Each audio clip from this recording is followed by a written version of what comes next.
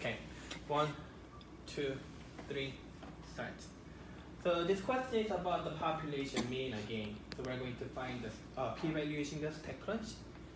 But and we need to find the test value. When we find the test value, we need the x bar sample mean and the sample standard deviation. Usually the question gives us the sample information, but this time, instead of giving us the n, x bar, or standard deviation, the question gives us this whole data set. Then what do we do? One way to do this problem is to use the formula to find the average and use the shortcut formula of the variance to find the variance and then find the standard deviation that can uh, take a lot of time to find. So this is what you can do. You can use the StatCrunch to find the test value and the p-value. And when you do this, instead of using the question help to open StatCrunch, when you have the data set given to you, you have to use this little icon that you have at the end of the data set and use that icon, click the button, and then open in StatCrunch. You needed to use this icon behind the data set to open StatCrunch so that this StatCrunch can keep the data values.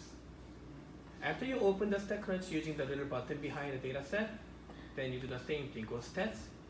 The claim is about the mean, so we're going to use the t-stats. Next is one sample. This time, it's not with the summary because we don't have the summary of the data set. We have the actual data set, so you have to click with data.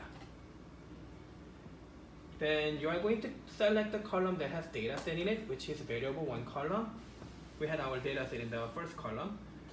And then you have to input H0 statement was equal to 12 and the other one was was it less than greater than let me see it was less than okay I'll just choose less than and then compute then it gives us the test value of negative 2.1846572 and p-value of 0.0284 so when you have the data set, you have to use the little icon behind the data set to open StatCrunch. If we just go to the question help and open the data set, that is StatCrunch, it's not going to have the data set in it.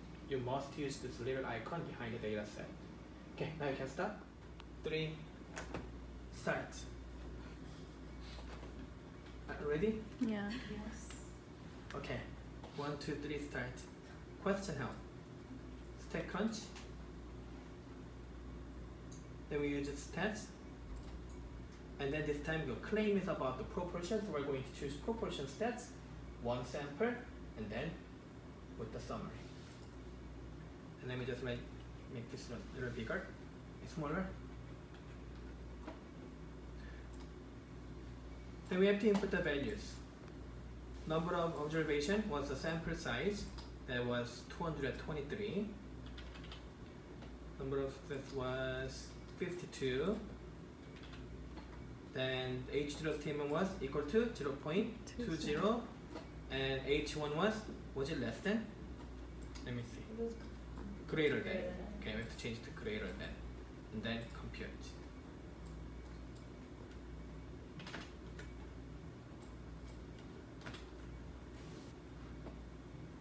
then we see the p-value and the test value what is the test value we see 1.2388516. That's called the Z-stat here.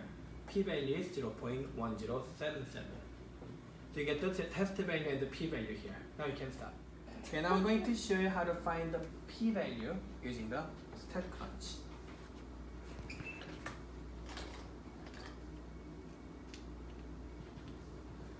And you are going to, let me just make it a little bit bigger. You have to go to question help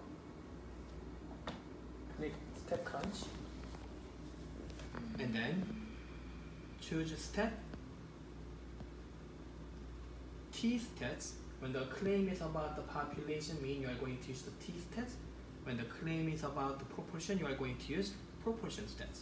This time the claim is about the population mean we are going to use the t-stats and then choose one sample with the summary. You have a summary of data. You have the sample mean and the sample standard deviation. Then let me just make this a little bit smaller. And then doesn't display the whole thing. Let me see if I can make it bigger. Okay. Then you have to input the sample information. Sample mean was 22.1 sample standard deviation 5.3, sample size was 25, and the claim was was was the H0 statement mean was equal to 25.4. H2A same as H1. It was less than 25.4. You have to input the values and click compute. Then we get the p-value here, 0.0024. This is the value that I gave earlier.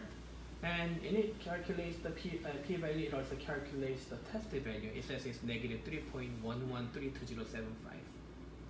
So this is how we're going to find the p-value and the tested value when we do the homework. Now you can stop. Ready? I wish I. Do you have any function that can can we do like some kind of blurry thing whenever you capture me? You know? no, no, no, No. don't, don't, don't. No, Let me try. Be careful. no. I'm not filming you. I'm just filming this. Okay. thing. As soon as I see you, let's do this again. You don't have um. you- Okay, let's just do this. Again, we have a data one, two, three start. We have data set. We use the icon next the data set to open. The data set is the StatCrunch. Then what do we do? Stat. Regression, simple linear. Then you choose the x and y, and compute. Then we get the equation of regression line here. We have 62.46 and we're going to round to one decimal place. So I want you to memorize this number. We get 62.5 and 1.1. Okay, let's just write the equation. So what was it? 62.5. And then one One point point one. So we just use the StatCrunch to find the equation and then check the answer. Okay, fantastic. Very good. Did we get? Next one. Oh, I didn't guess. so given, okay, now we have to find the y value for this x value of 85. But before you use the equation of the regression line, this is what I want you to do. Find the p-value. What's the p-value? P-value is 0.0821, which is higher than 0.05 significance level. Then what do we do? Do we use this equation to find the y value here? No. We're going to use y bar sample mean of the y values as the y value here. But then this part does not really give the y bar value. Then what do we do? Then we use the StatCrunch one more time. Open the data set in the StatCrunch and then go to stat and then choose summary stat and column. Left arm is the y value, so choose that, that variable and then press compute it's going to compute the mean of this data set, y value for you. 157 is the average. The answer becomes 157. Then let's check. Nice work. Five minutes. Excellent. so again, this time p-value is too big, so we are not using the equation of the regression line to find the y value. Then what do we use? Y bar. And how do we find it? We go to StatCrunch. We have actually open the data set in the StatCrunch, and then we just did something different. What do we do? Open StatCrunch again. You have to go to stat and summary stat. So there's a way to calculate the mean without using the formula. And one col- columns, and then choose the column name that has the y value and compute. This is how we can find y bar sample mean. Okay, now we can stop. p value, let's check it one more time. P value is 3603. 0.3603 makes 0. Okay, excellent. Fantastic. Don't forget your recording. okay, because p-value is less than significance or greater. Significance level is Greater, 0.05 it's greater than so there is insufficient evidence.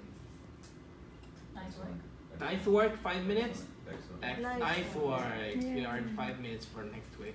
It should be ten. Okay, I think that's enough. Let's go to the next question. We need to actually solve all five problems today. Should we stop this video? No, we'll just keep doing this. Keep recording? Yeah. Next problem. For this problem, actually the correlation coefficient is given, R value is given, sample mean for x value is given, sample mean for y is given. Instead of giving you the actual data set, it gives you the summary of the data set you have. And the p-value is already calculated, and equation of regression line is already given. Okay, what's the p-value? 0.159, alpha is 0.05. So clearly p-value is greater than alpha, then it means it's like having there's no co- there's no correlation. Again, earlier we checked the compare the R value with the critical value, and when the R value falls within the critical region, we said there was positive correlation, there's negative correlation. Here, that same as actually getting a small p-value. This time our p-value is too big, it's greater than alpha. So what do you remember that we are not supposed to use the equation of the regression line to guess the y value? What do we use? Instead of using the equation to find the future prediction, we decided to use y mm-hmm. bar, sample mean for y value as the best point estimate. So we're going to put 6.0. So you have to understand why we are not using the equation of the regression line to get the y value. Mm-hmm. Our p value is too big. There's no correlation. So we just use y bar as the best point estimate of y value. Check. Fantastic. Five minutes. Good job. Next question. And then here we again we have x bar, y bar correlation coefficient p value of zero. That means we have strong correlation. That means we can use this equation to find the future y value. What do we have to do? Find the y value for given x value of 97. So we just have to use a calculator and do 13.34 plus 0.87 times 97. Let me do this. 13.34 plus 0.87 times 97 is 97.73 says rounded to two decimals again 97.73 when I check the answer it's going to be mm, Fantastic. fantastic five minutes Excellent. well done so do you understand the difference between the second and third problem? Mm-hmm. Second problem has a large p-value, so we don't use the equation of the regression line to find the y-value. Third problem has a small p-value, so we may use the equation of the regression line to find the y-value. Now you can start. Okay. Then let's go back to the prob question. So what's the linear correlation coefficient? What was the number? The number was R value here negative 0.290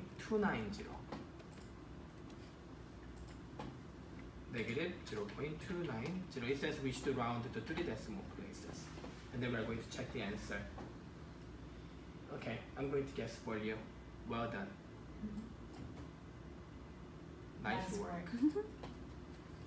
And then it's always this, always with the equal sign for H0 statement and not equal for H1 with the value 0 and 0. So if we have to find H0 and H1 statement for this correlation coefficient, just use 0 and equal and not equal sign. And then check. For each Fantastic. question? Yes, for each one, every question. Check answer. Fantastic. Excellent. Well, Well done. done. Test statistic, that's the test value. Let me see, what was the test value? Okay, negative 0.9587. Please memorize this. Round to two decimal place. Negative 0.96. Excellent. Fantastic. P value start one, two, three. Here we have a data set given to us. And whenever data set is given, we need to use this little icon next to data set to open StatCrunch. Don't go to question hub to open StatCrunch. Now the StatCrunch has the data set you have. To find the correlation coefficient, we go to stat and then choose regression simple linear. Let me just write make this bigger. And then we have two variables. Choose the first one is x, second one is y, and then compute. When this time it says uh, sample size is 12, that's n, and then it says R, correlation coefficient, that's negative 0.29014327. So it's pretty easy to find the correlation coefficient using the StatCrunch. You don't have to do any computation, you don't have to use the formula. So that's going to be the correlation coefficient. And then if we if we ever need um, test value or the p-value, you can get those numbers from here. It looks like we have two t-tests, two p-values, just use the bottom ones if you need the p-value or the test value. Okay. Then let's go back to the prob question. So what's the linear correlation coefficient? What was the number? The number was R value here negative 0.290 negative 0.290 it says we should round to three decimal places and then we're going to check the answer okay I'm going to guess for you well done mm-hmm. nice, Nice work. and then it's always this always with the equal sign for h0 statement and not equal for h1 with the value 0 and 0 so if we have to find H0 and H1 statement for this correlation coefficient, just use 0 and equal and not equal sign. And then check. For each Fantastic. question? Yes, for each one, every question. Check Excellent. answer. Fantastic. Excellent. Well, Well done. done. Test statistic. That's the test value. Let me see. What was the test value?